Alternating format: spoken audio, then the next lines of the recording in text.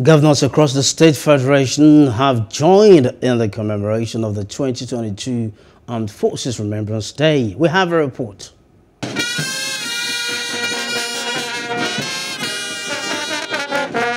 It's a large gathering in Ekiti State, as the usual parade is observed in honor of the fallen heroes. Governor Kayode Fayemi charges the government at all levels to be serious with the welfare of the families of the departed soldiers. We owe them a duty of care, we owe them a duty of support, we owe them a duty of prayer at all times. And we owe their family, in the event of loss, a duty of service all through their lives. So that we cannot completely expect them to forget the love of their loved one. However, we can at least ameliorate this a little bit.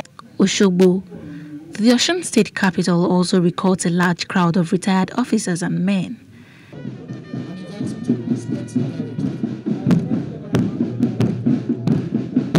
Governor Oyetola takes to the podium, explaining his administration commitment to prioritizing the welfare of security agents, particularly that of the armed forces.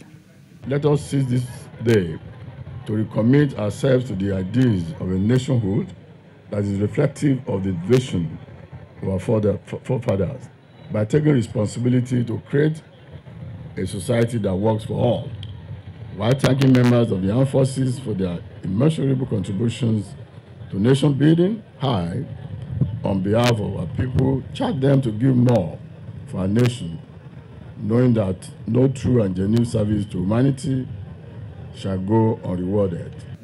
At the arcade ground in Abeokuta, 21 gun salute is launched. The traditional laying of wreaths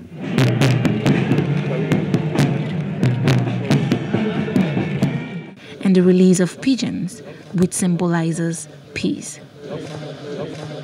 Governor Dapo Abiodun calls for the continuous unity of the country. And this day has been set aside to honor our fallen heroes who have sacrificed their lives for the oneness, unity, territorial protection from within and from inside of this country.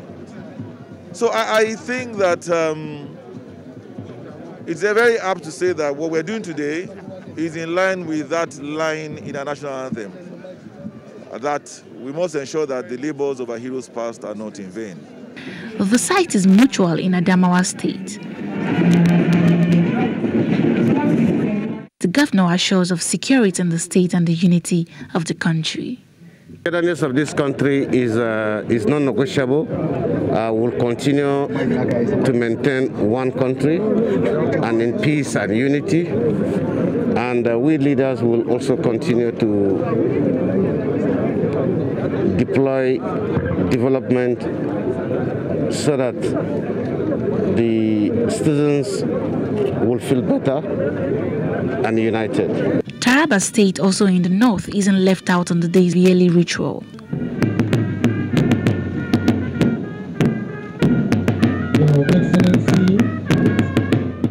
The government announces the donation of 10 million to the widows of the fallen heroes. While we remember the fallen as well as the living heroes, we must pause to consider the plight of the family they left behind notably their wives, children, and other dependents who are in desperate need of our help. Distinguished legions, I would like to reiterate that it is the administration policy to continue to provide all essential support to ex-servicemen within the limited resources at our disposal.